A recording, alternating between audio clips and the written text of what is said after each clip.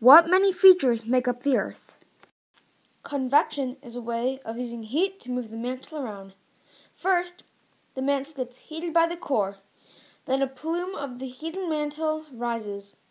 Next, the heat makes the plume move under the crust while it is cooling. When the mantle cools down, it sinks back to the core and repeats the whole process over again. The Earth has many layers. At the top, it starts with the crust, then the upper mantle.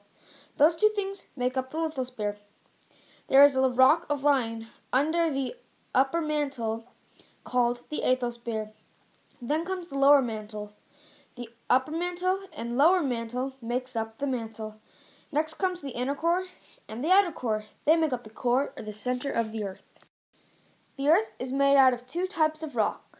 Basalt or ocean crust is located in the ocean and is more dense than water so it is on the bottom.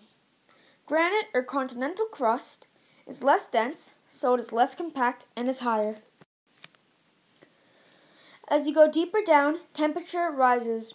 On a Celsius scale, the crust would start with zero. Then the upper mantle would be 870. The lower mantle would be 3,700. The outer core would be 4,300. The inner core would be 7,200. If I were to make a scale of the depths, it goes down in kilometers. The crust would be 15. The upper mantle would be 410. The asthenosphere would be 660. The lower mantle would be 2,900. The outer core would be 5,100.